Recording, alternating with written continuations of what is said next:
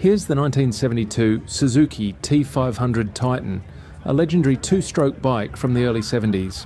Powered by a 493cc parallel twin engine, the T500 produces around 47 horsepower and has a top speed of over 100 miles per hour. It may not have been as wild as the Kawasaki H1 500 or Yamaha RD 350, but it earned a reputation for reliability, making it a favourite among long distance riders. As we walk around, you'll notice the twin exhausts, drum brakes, and classic spoked wheels. Weighing 198 kilograms wet, it was heavier than most two strokes, but that extra weight gave it stability on the road.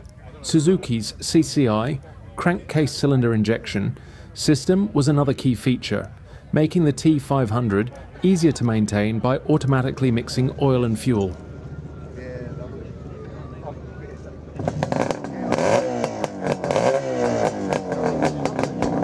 Despite its weight, the T500 delivered solid torque and surprisingly good fuel efficiency, getting around 45 to 50 miles per gallon.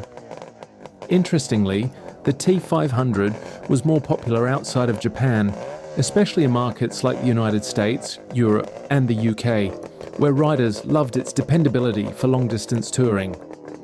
While some criticised its handling on twisty roads due to the heavy front end, its strength was its ability to keep running mile after mile without breaking down. And here it is taking on the Kop Hill climb, showing off the power and smooth torque delivery that made it such a hit with touring riders. The Suzuki T500 Titan, a classic that's still turning heads and hearts, decades after it first hit the road.